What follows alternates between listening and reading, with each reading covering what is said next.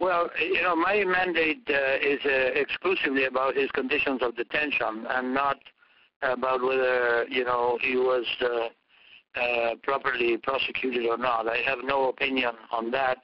Uh, and of course, I have no opinion on whether uh, he, on his plea or his guilty plea.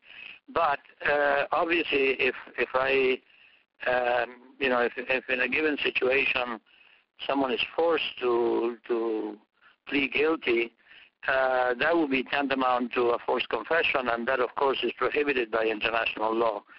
In this circumstance, uh, I am persuaded that he was unjustly put in solitary confinement for eight months at the beginning of his detention, um, and uh, that that constitutes a serious violation by the United States of its obligations under international law uh, including the Convention Against Torture.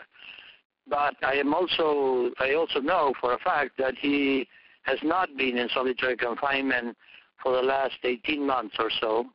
Um, so uh, you know uh, it's difficult to say that uh, his previous solitary confinement had any bearing on whether on his decision to plead uh, guilty right now. Uh, uh, without more information on that, I wouldn't venture that hypothesis. Uh, it doesn't seem right. I mean, if he had pleaded guilty while being held in solitary confinement, that of course would be a serious consideration.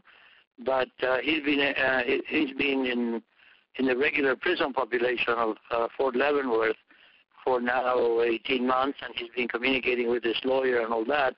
So uh, I don't see how it could have it could could have a bearing uh, on his decision to plead guilty.